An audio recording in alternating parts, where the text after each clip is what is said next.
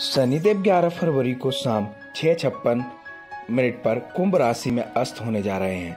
शनि के अस्त होने से कुछ राशियों को विशेष लाभ मिल सकता है। तो वहीं कुछ राशियों को थोड़ा संभल कर रहने की ज़रूरत है। ज्योतिष आचार्य पंडित पंकज पाठक के अनुसार शनि कुंभ राशि में ही 26 मार्च को सुबह पाँच बज के बीस मिनट पर उदय हो जाएँगे। शनि के अस्त होने से कुछ राशियों को शारीरिक मानसिक एवं आर्थिक समस्याओं का सामना करना पड़ सकता है। शनि के कुंभ राशि में अस्त होने से राशियों को लाभ तो होगा ही। इसके साथ ही राशियों को संभल कर रहने की ज़रूरत भी है। इस साल शनि देव अपनी राशि परिवर्तन नहीं कर रहे हैं। वह अपनी मूल त्रिकोण राशि, कुंभ राशि में ही विराजमान रहेंगे। लेकिन समय समय पर उनकी स्थिति में बदलाव देखने को मिल सकता है। जानिए, शनि के अस्त होने से किन राशियों की मुश्किलें बढ़ने वाली हैं? किन राशियों के जातकों को सावधान रहना होगा? ये ज्योतिष और पंचांग के अनुसार 11 फरवरी 2024 को शनि कुंभ राशि में अस्त होने जा रहा है।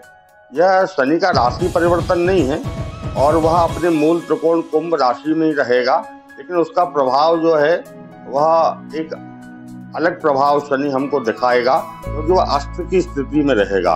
कुछ राशियों के लिए ये लाभदायक भी रहेगा, कुछ राशियों को सावधानी की ज़रूरत है, क्योंकि शनि के अस्त होने से कुछ राशियों को शारीरिक, मानसिक, आर्थिक कष्ट हो सकता है।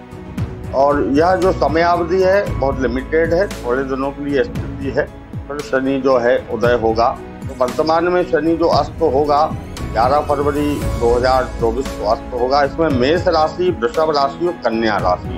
इन तीन राशि वालों के लिए थोड़ा सा यह समय कहना चाहिए। मिश्रित रहेगा। बहुत ज़्यादा शुभ फल देने वाला भी नहीं रहेगा। बहुत ज़्यादा अशुभ फल देने वाला भी नहीं रहेगा। मेष राशि के लिए ग्यारहवें भाव में शनि अस्त होगा।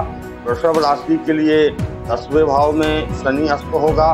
और कन्या राशि के लिए छठवें भाव में यह शनि जो है अस्त हो रहा है।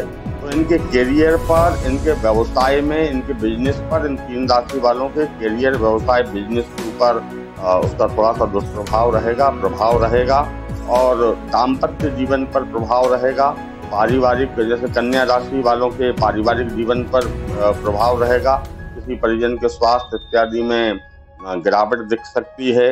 वृषभ राशि वालों के वैवाहिक जीवन में कुछ समय के लिए व्यवधान आ सकता है। इसी प्रकार इन तीन राशि वालों को कुछ यह मिश्रित फल देने वाला रहेगा।